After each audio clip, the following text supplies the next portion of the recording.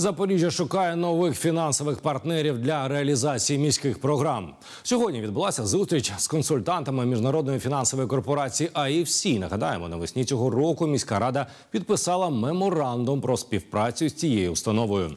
Сьогодні обговорили можливість надання кредиту на реалізацію інфраструктурних проєктів програми Безпечне місто, придбання нового транспорту та проєктів водоканалу і тепломереж.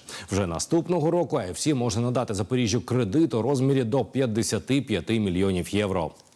Все будет зависеть от пакета документов, от 5,5 до 6,5% процентов годовых. Есть льготный период от 2 до 3 лет, в зависимости от того пакета, который мы э, планируем финансировать. Мы понимаем, что учитывая обмеженность, э, ограниченность бюджетных средств, нам необходимо привлекать дополнительные источники в виде э, кредитных средств, инвестиций. И мы плотно сейчас работаем с данной корпорацией.